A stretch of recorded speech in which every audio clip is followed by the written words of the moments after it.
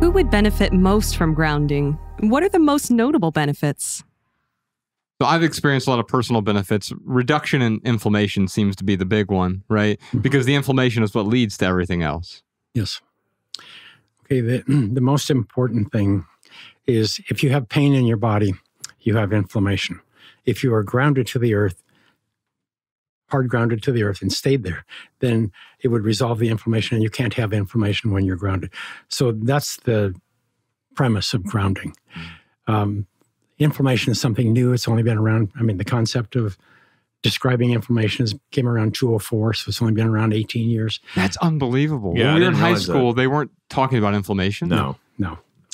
Um, so I'm, did I, am I getting the question totally? Yeah. So who would benefit most from Okay. from earthing? I mean, Any, it anybody? seems, yeah, seems like anyone, Yeah. but Yeah, anyone who has pain in their body, but most importantly, women, uh, because women are more sensitive uh, to the things in the environment, maybe because of children and whatever. I'm not sure, but but they sense everything in their environment, and it uh, it affects their sympathetic nervous system. So, and the sympathetic affects fight or flight, and in very subtle ways, and so your body becomes filled with cortisol, which dampens and uh, the parasympathetic and so on, and and so that creates anxiety, irritability, pain, and so on. Yeah. So, but, but everybody is affected equally, I think. But women are the ones who are. So put it this way: ninety percent of the visits to a practitioner are for female. 80 90 percent of all nutraceuticals or pharmaceuticals are female. Mm. When- Men don't do anything, no pain, no gain until you have your first heart attack. You don't take any of this serious. Mm, Yeah. yeah. Right. And so, what we're doing right now through a lot of our so called solutions, we're actually creating more problems by not addressing the root of our pain, the root of our illness, the root of our dis ease. Right. And what grounding, what reconnecting with the earth does, it helps us create the electrical charge, uh, neutral charge in our body so that we have the opportunity to heal.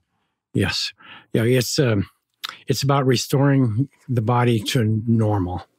In nature, I mean, throughout all time, we were naturally grounded to the earth.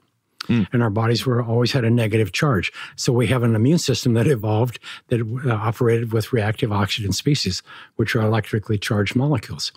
Never an issue, not a problem as long as you're grounded.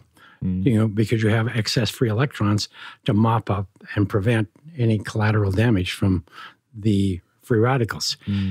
But when you lose your electron charge and your body's full of cortisol, your pH is off, which is another measure of electrical, and your uh,